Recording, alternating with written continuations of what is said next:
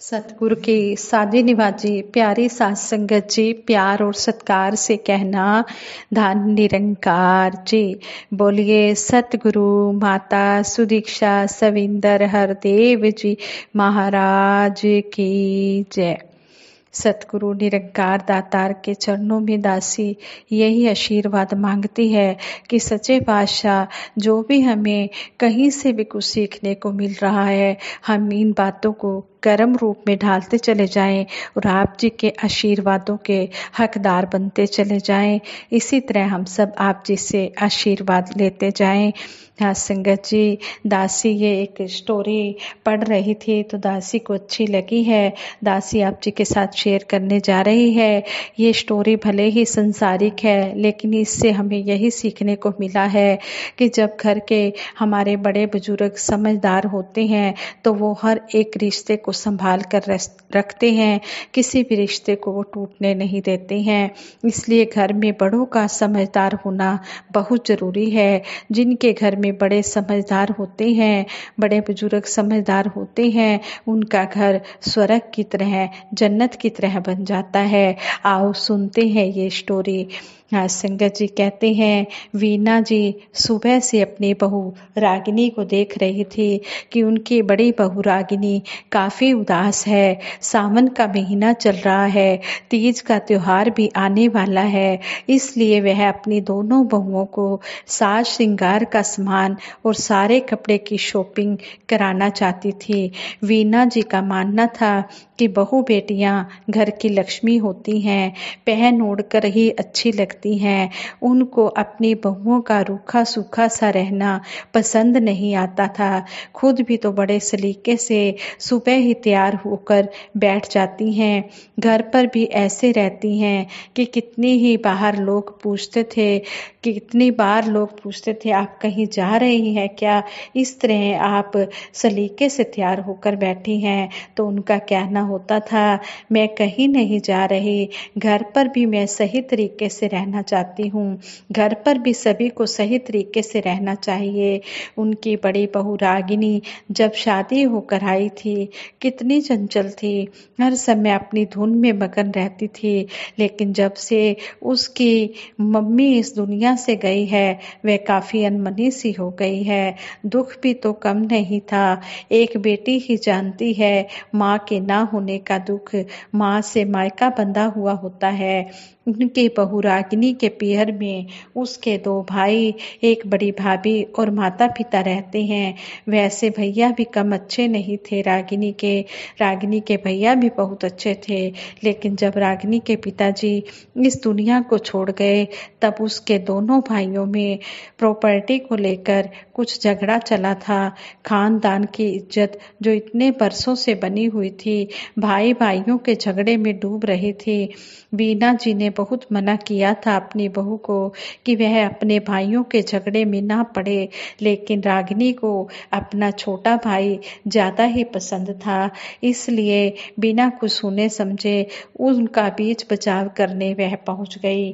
बड़ा भाई और भाभी वैसे तो रागिनी की बहुत इज़्ज़त करते थे, लेकिन रागिनी जी द्वारा छोटे भाई का पक्ष लेने के कारण बड़े भाई की तरफ़ से भी मन मुटाव हो गया था। वैसे भी फ़र्ज़ तो अधिकतर बड़े भाई ने ही निभाए थे।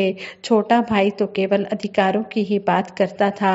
पाँच साल हो गए हैं, बहन भाइयों की बिगड़े हुए गलती तो दोनों तरफ़ से ही हुई थी, पर रिश्ता तो बहन भाइयों का ही खराब हुआ ना।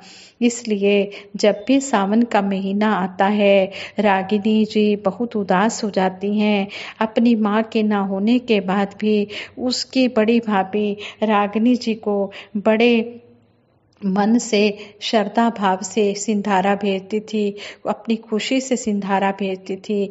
लेकिन झगड़ा ऐसा हुआ कि सब कुछ छूट गया। राखी भी छूट गई, सावन का सिंधारा भी छूट गया, सारे त्योहार भी छूट गए। छोटा भाई तो फ़ौरन में जाकर सेटल हो गया। एक तरीके से वीना जी की बहू का मायका छूट ही गया। वीना जी के मायके से तो सावन की डलियाँ अभी तक आती हैं। वैसे कोई कमी नहीं उनके यहाँ वीना जी खुद अपनी बहू को सारा सामान दिला देती हैं, लेकिन मायके से आई हुई सावन की डलिया की खुशबू कुछ अलग ही होती है, क्योंकि उसमें माँ की देहरी की खुशबू होती है। वीना जी अपनी बहू के पास जाकर अपना हाथ उसके सिर पर रखते हुए बोली, बेटी, कब तक उदास रहोगी? ऐसे खून के रिश्ते ऐसे नहीं छोड़े जाते हैं। अगर तुम्हारा भाई भाभी तुम्हें मनाने के लिए नहीं आ रहे तो तुम ही उन्हें फ़ोन मिला लो। प्यार तो तुम दोनों में बहुत था, केवल बाहरी बातों के कारण मन मुटाव हो गया है। तुम्हें याद नहीं वीना जब तुम्हारी शादी हुई थी तो तुम्हारा बड़ा भाई तुम्हें याद नहीं जब तुम्हारी शादी हुई थी तो तुम्हारा बड़ा भाई कितना रोया था और तुम्हारी भाभी भी हमेशा कितनी इज़्ज़त करती थी सबकी। हमारे यहाँ से कोई भी उनके घर चला जाता, कितना मान सम्मान किया जाता था तुम्हारे मायके में। यहाँ तक तुम्हारी माँ के जाने के बाद भी उन्होंने कोई कमी नहीं छोड़ी। हमें इतना प्यार दिया। तुमने ही भाइयों के झगड़े में पड़कर अपना रिश्ता खराब किया था। अभी कुछ नहीं बिगड़ा है। हमारे भारत देश में यह तीज त्योहार इसीलिए ही बनाए गए हैं कि यह रिश्ते जुड़े रहें, राखी आने वाली है। तुम त्योहार लेकर चली जाना, कोई मना नहीं करेगा तुम्हें। जो दर्द तुमने अपने दिल में छुपा कर रखा है, वह दूर हो जाएगा। जो भाई बहन हमेशा एक दूसरे को इतना प्यार करती हैं, एक समय के बाद ऐसा क्या हो जाता है कि उनमें मन मुटाव पैदा हो जाता है। अपनी सास की बातें सुनकर रागिनी जी की आँखों से आँसू आ जाते हैं। वह अपनी सास से गले लिपटकर बहुत रोने लगती है। मानो जैसे वह एक छोटी सी बच्ची हो। आज उसकी सास का सम्मान रागिनी जी की नज़र में और भी बढ़ गया। उसने तो हमेशा से यही सुना था कि सास की बुराइयाँ ही की जाती हैं, लेकिन उसकी सास ने तो यहाँ माँ का स्थान ले लिया था। वह भी तो चाहती थी अपने भाइयों की कलाइयों पर राखी बांधना। रागनी जी भी तो चाहती थी अपने भाइयों की कलाई पर राखनी राखी बांधना। कितने प्यार से वह रक्षाबंधन का त्यौहार करती थी। जब तक अपने भाइयों को राखी बाँध नहीं देती थी, नाश्ता तक भी नहीं करती थी। कितनी चाहत थी उसकी बुआ शब्द सुनने की, जो उसके मायके जाने पर उसके भतीजे भतीजी उसको चारों तरफ़ से घेरे रखते थे।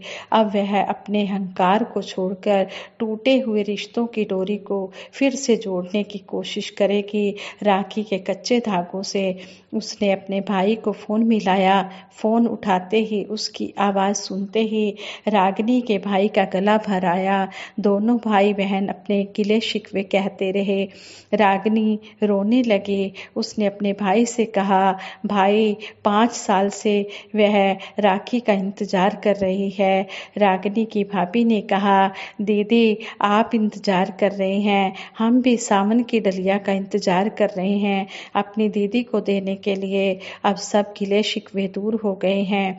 रागनी के भैया भाभी तीज पर सिंधारा देने आ गए। अब रागनी जी भी अपनी पसंद की राखियाँ बड़े मन से खरीद रही हैं।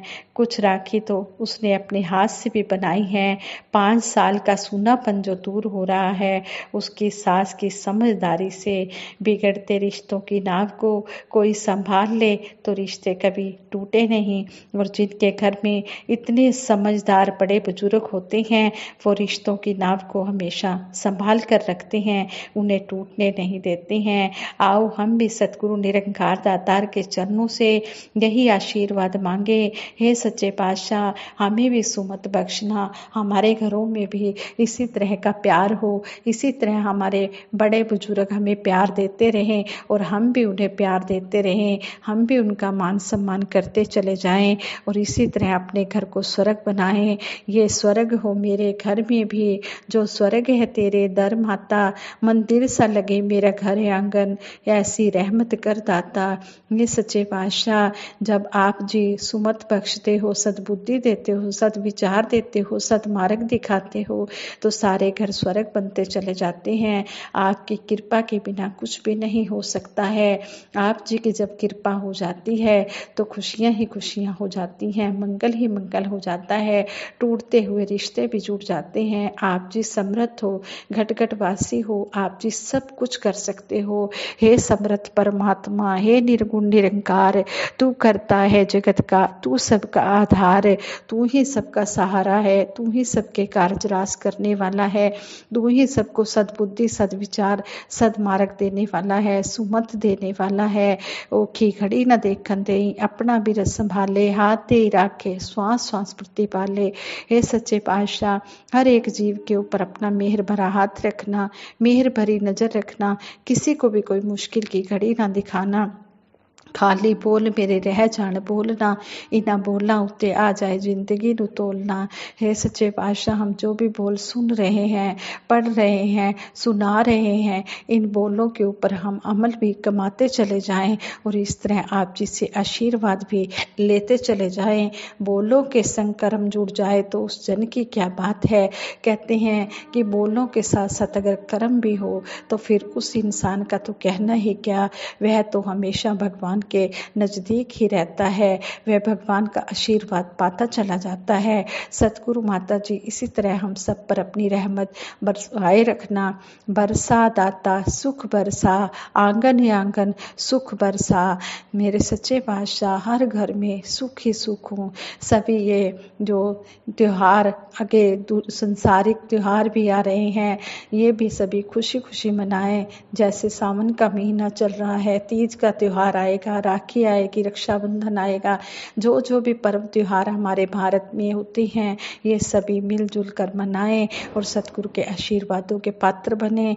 हँसी खुशी, ये जो रक्षाबंधन का त्यौहार है, ये भी भाई बहन सभी मिलजुल कर मनाएँ। सच्चा बादशाह सभी को इतनी खुशियाँ बख्शे। सभी भाइयों की लंबी उम्र हो, सभी बहनों की लंबी उम्र हो, सभी के घर में इसी तरह ये हँसी खुशी के त्यौहार भी हों और सभी इसी तरह सेवा, सिमरन, सत्संग के रंग में भी रंगे रहें। भक्ति भरा जीवन, संतों जिए जाएँ। सत्संग सेवा सिमरन, सदा हम करते ही जाएँ। हे मेरे दातार सच्चे बादशाह, ये असली जो खजाना सेवा सिमरन सत्संग का है, ये हमारी झोली में पा देना, यही हमारे काम आना है। ये राम रतन धन जो है, ये इस दुनिया में भी हमारी हमारी सहायता करता है और राम रतन धन ही फिर इस शरीर को छूट जाने के बाद भी, परलोक में भी हमारे काम आएगा। इसलिए जितना भी हो सके हम इसको इकट्ठा करते चले जाएँ और सतगुरु से यही आशीर्वाद मांगे कि हे दातार सच्चे बादशाह, ये आप जी की कृपा से ही हो सकता है। हमारे करने से कुछ नहीं हो सकता। जब आप जी चाहो, तभी ये सब कुछ हो सकता है। इसलिए मेरे मालिक दीन दयाल सच्चे बादशाह, अपनी कृपा दृष्टि हम पर बनाए रखना, इसी तरह चरणों से जोड़ के रखना। तेरे चरना दे दास तो तेरा विश्वास दिन रात मंगते मेरे मालिक दीन दयाल, जिस तरह अटूट विश्वास बना है, इसी तरह आप जी के चरणों में अटूट विश्वास बना रहे। कोटिन कोटिन बार आप जी के चरणों में हम, आप जी का शुक्राना करते हैं। जो भी आप जी हमें खाने, पीने, पहनने, रहने के लिए दे रहे हैं, जो भी आप जी के कृपा से हम ये क्रियाएँ उठना, बैठना, खाना, पीना, चलना, फिरना, सोना, जागना, ये क्रियाएँ कर रहे हैं, मेरे मालिक के सब आप जी के कृपा से हो रही हैं। इसी तरह आप जी सबको तंदुरुस्ती बख्शना और सभी को तन मन धन से माला माल करना, ताकि सभी तन से भी सेवा करें, मन से भी करें और धन से भी संतों की सेवा में अपना योगदान दें, जीवन लगाएँ और परमार्थ के काम करें, परोपकार के काम आए। ये जो मनुष्य जन्म है, ये बड़ी मुश्किल से चौरासी लाख योनियों के बाद मिला है। इसे यूँ ही ना गवाएँ, इसे हम एक एक पल का सदुपयोग करते चले जाएँ। सतगुरु की कृपा से ही यह सब हो सकता है। और सतगुरु से हम जब ऐसी मांग मांगते हैं, जब हम मन से, दिल से ये भाव मांगते हैं तो सतगुरु हमारे वो भाव ज़रूर पूर्ण करता है। सतगुरु तो श्रद्धा भाव देखता है। जब हम श्रद्धा भाव से इसके चरणों में समर्पित हो जाते हैं तो फिर ये श्रद्धा, समर्पण वाली भावना हमारे मन में ज़रूर लाते हैं। और जो हम चाहते हैं, सेवा, सिमरन, सत्संग करना, वो भी ये फिर हम करने का, हमें करने का बल बख्शते हैं। साथ संगत जी ये विचार करते हुए बहुत सी गलतियाँ हुई होंगी। उन गलतियों के लिए आप जी क्षमा कर देना, आगे के लिए सुमत बख्शना, सास संगत जी, प्रेम से कहना, धन निरंकार जी।